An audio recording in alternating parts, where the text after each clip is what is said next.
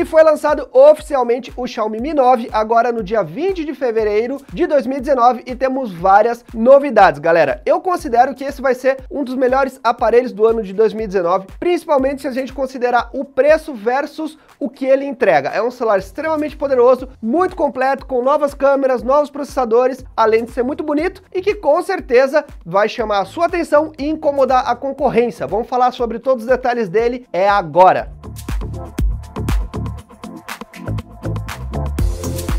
Fala meus queridos e queridas, tudo beleza? Becker aqui no seu canal de tecnologia. Se você não está inscrito, já sabe, se inscreve aí, porque tem vídeo praticamente todo dia. Me segue aqui ó, nas redes sociais e não esquece de ativar o sininho para receber sempre as notificações dos vídeos novos. E aproveitando, hoje eu vou te dar uma dica bem legal para você economizar as suas compras online, que é utilizar o Bitec Pague Menos, galera. É uma extensão para o Google Chrome, Firefox e Opera, que te ajuda a encontrar o melhor preço. Ele tem testador de cupom automático, comparador de preços e diversos outros recursos que vão vão com certeza te ajudar a economizar. Ele é grátis, o link está aqui na descrição, aproveita e já instala aí. Mas vamos então falar do Xiaomi Mi 9 que tanto foi esperado, tantos rumores rolaram e a maioria dos rumores estavam certo. Praticamente em termos de design, tudo que foi previsto estava correto. O aparelho aí está muito bonito, com um corpo de metal e vidro. A gente tem Gorilla Glass 5 na traseira e Gorilla Glass 6 na parte frontal do aparelho, ou seja, está bem protegido contra riscos. Contamos com design de câmera traseira traseira tripla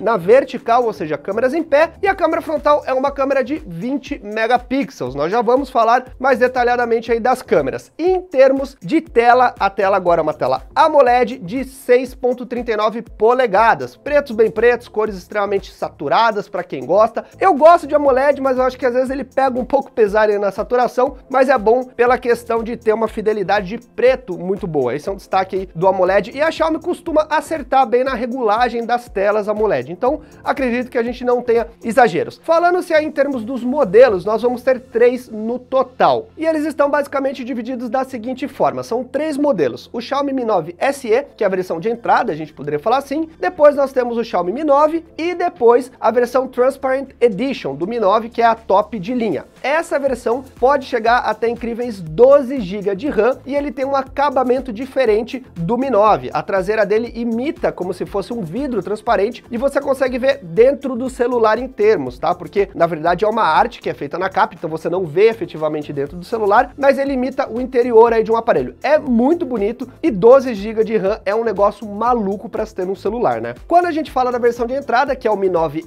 SE, ele é focado para um público aí mais intermediário avançado, ele tem o Snapdragon 712 e versões de 6 GB de RAM com armazenamento de 64 a 128 GB. O Snapdragon 712 faz parte da nova família família da Qualcomm, muita gente não conhece, mas ele está no meio de um caminho ali entre um intermediário avançado ao começo de um topo de linha, a gente poderia falar assim. Já é tradição que a Xiaomi lance aparelhos mais simples, mas que façam parte da família Mi 9. É claro que quando a gente olha o Mi 9 SE e o Mi 9 normal, nós estamos falando aí de espécies diferentes, mas ainda assim é uma opção mais econômica para quem quer fazer parte aí da nova família sem ter que gastar muito. Agora olhando para o Xiaomi Mi 9 e o seu irmão mais caro, o Transparent Edition, nós temos aí o Snapdragon 855 5, 6, 8 ou 12 GB de RAM, 64, 128 e até 256 GB de armazenamento. É um aparelho monstruoso em termos de configuração, não tem mais o que você exigir no mercado atualmente. Além disso, vai te sobrar potência para tudo, para jogos, para uso no dia a dia, então você nem precisa se preocupar. Pegando um aparelho desse, você vai estar tá sossegado, pelo menos ali por 3 anos,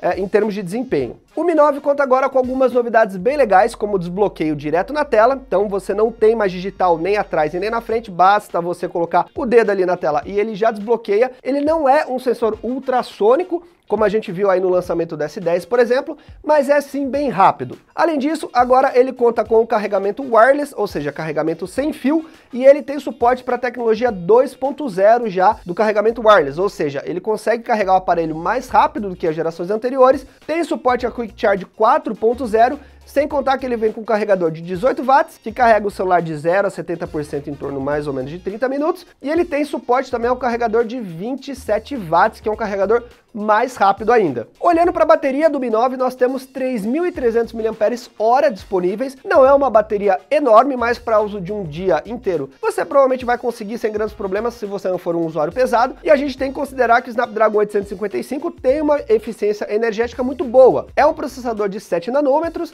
bem pequeno, então isso ajuda na eficiência energética, mas ainda assim a Xiaomi costuma não colocar baterias muito grandes nesses aparelhos, até porque eles optam um pouco mais pelo design mais fino do que efetivamente um custo-benefício em termos aí de bateria. A tela do aparelho conta com o Notch em gota, que é uma tendência que a gente já está vendo aí no ano de 2019, e o interessante é que ele tem 450 nits, se eu não me engano, 450 430 nits, que é o brilho da tela. Isso já é um brilho bem alto, mas ele pode chegar no modo automático até 620 nits quando você estiver no modo automático e no sol. Isso é muito brilho, então provavelmente para você usar no dia a dia você não vai ter problema nenhum em conseguir visualizar a tela quando tiver aquele solzão aí bombando. É claro que nem tudo são flores, né galera? O aparelho não conta com certificação IP68, então você não vai poder tomar chuva com ele, não vai poder derrubar um copo de água ali nem nada do tipo. É, a gente já costuma esperar isso na série Mi porque eles têm um preço mais reduzido, né? Então você tem que sacrificar algumas coisas, não tem jeito para o aparelho poder ficar mais competitivo, mas é, isso é algo que muitas pessoas ainda não veem um valor muito agregado, não querem pagar muito mais caro por isso. Então a Xiaomi era algo que eu já esperava que não tivesse mesmo, e nós não temos também a entrada de 3.5 milímetros. Você vai ter que usar o adaptadorzinho para poder utilizar os seus fones aí, mas isso também já é uma característica das gerações aí anteriores. Agora vamos falar das câmeras do Xiaomi Mi 9,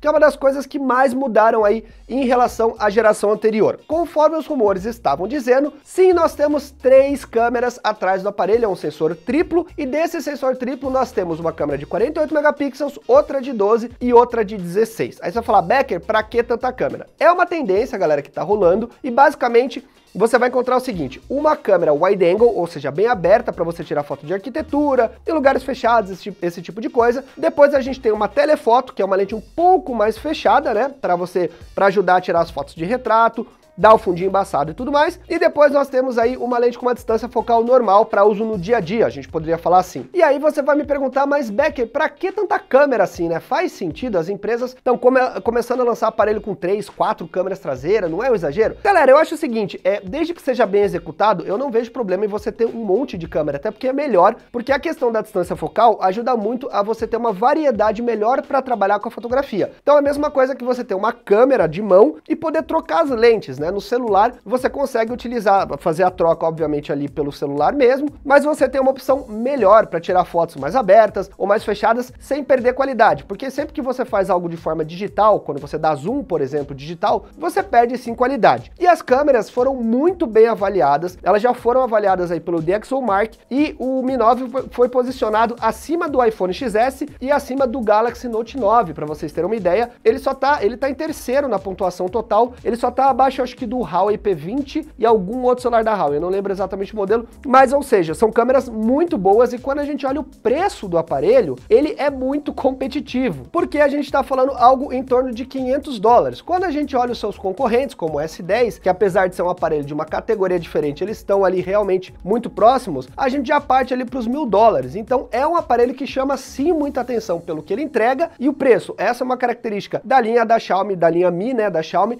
que sempre foi muito bem vista. Falando da filmagem do Mi 9, ele tem suporte a 4K 60 frames por segundo, não tem estabilização ótica, que é algo que eu acho que seria legal ter vindo, né, considerando que é um aparelho muito voltado para a câmera, mas de acordo com a Xiaomi tem uma tecnologia de estabilização eletrônica que se assemelha muito a um gimbal, ou seja, aqueles estabilizadores de mão, que são estabilizadores físicos, e se aproxima aí realmente de uma Action Cam. Então a gente vai ter que ver, obviamente, isso nos testes, mas pelo que a galera já fez aí testes iniciais, realmente essa estabilização está muito boa e você ter o suporte a 4K 60 frames é muito legal. Ah, eu não lembro da Xiaomi ter liberado isso em nenhuma versão das linhas seus aparelhos anteriores. A gente sempre tem 4K 30, mesmo o Snapdragon, que era o 845 anterior, já tendo suporte a 60, eles não liberavam. Então, é um recurso que para quem gosta dessa parte de vídeo, vai ser muito bem-vindo. Resumidamente falando, é um aparelho que entrega tudo o que você precisa por um preço muito bom. Nós temos um design bonito, aquela traseira de metal curvada, que já é característica aí da linha Mi, muito muito bonita, tela AMOLED, processador top de linha com memória RAM sobrando, enfim,